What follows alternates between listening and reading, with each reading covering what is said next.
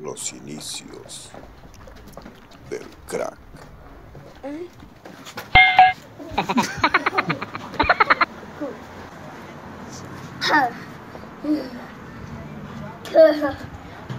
Te equivocaste.